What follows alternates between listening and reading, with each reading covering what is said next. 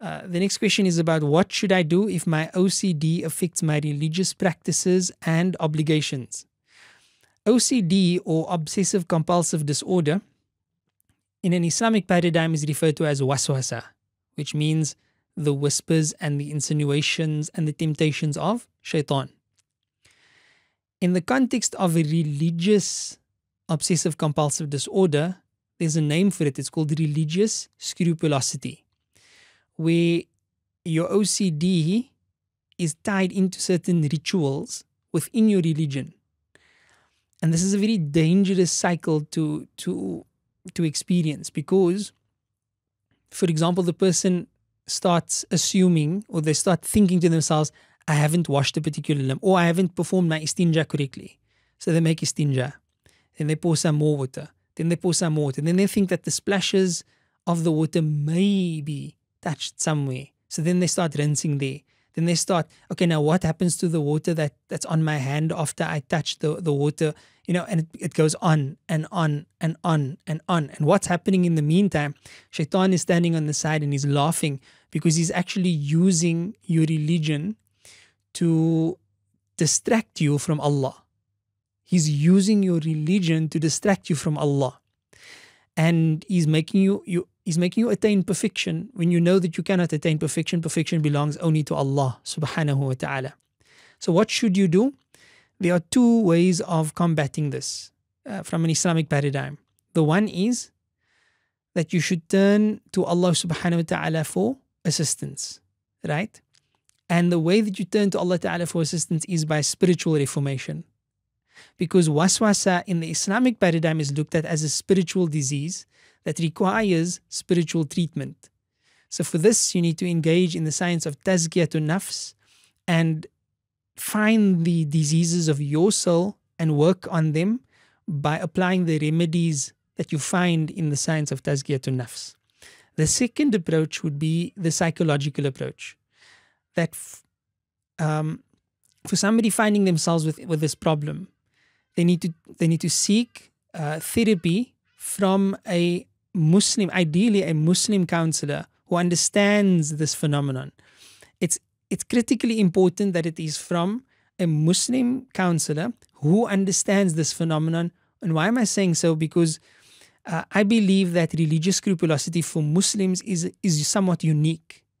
I can't imagine what exactly this would, you know, sort of form as for a non-Muslim, um, like a like somebody from the Christian faith, for example, where there are not as many worship rituals, right, as there is for a Muslim. For a Muslim, there's istinja, there's wudu, there's ghusl, there's najasat and how to clean najasat, and then there's matters of iman and kufr, and then there's a matter of uh, saying the word talaq if you're married.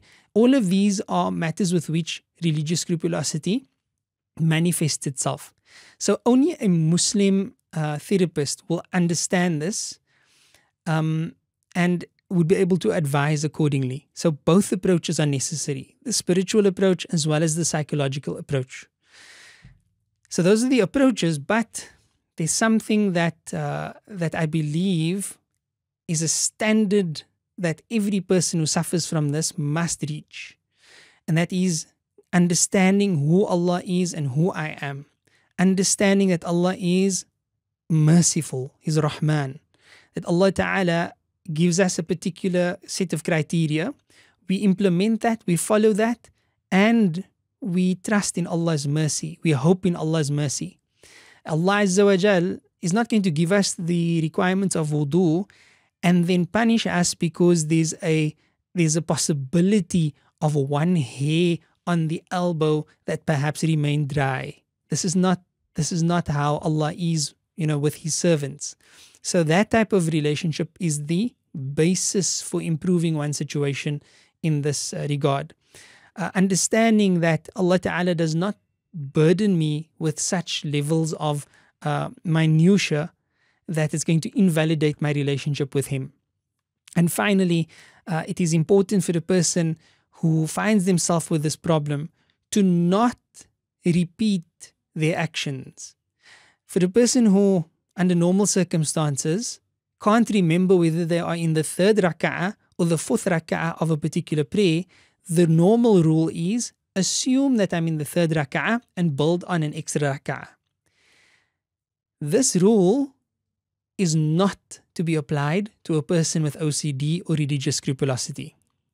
A person with wudu who is doubtful did I break my wudu earlier on by passing wind or did I not? Such a person, because they know that they had wudu but they're doubting whether they broke wind or not, they would assume that they that they still have wudu. For a person with religious scrupulosity, they would always take the approach of I finished it, I did it, I, I've, I've attained it, so they have wudu, right? If they unsure whether they're in the third or fourth rak'ah, I've finished the fourth rak'ah and I'm going to end my salah. If they take the approach of I assume the lesser and then I build on, they'll be building on until Qiyamah. And that's highly problematic. Then the deen is going to become difficult for them. And as the Prophet ﷺ said, no one makes the deen difficult upon them except that it will overpower them. May Allah make it easy. It's not something pleasant to be suffering from. May Allah Ta'ala grant cure to those who suffer from it. La ilaha illallah Muhammad Rasulullah